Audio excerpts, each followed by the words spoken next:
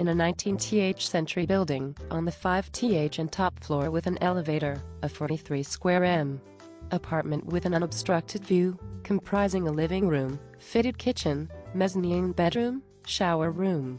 parking space, caretaker,